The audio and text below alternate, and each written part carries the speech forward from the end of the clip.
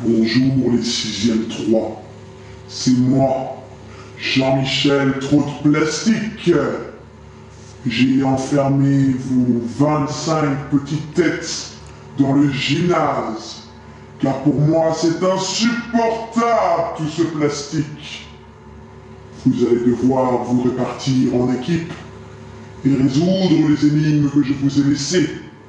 Si vous espérez un jour sortir de ce gymnase vivant.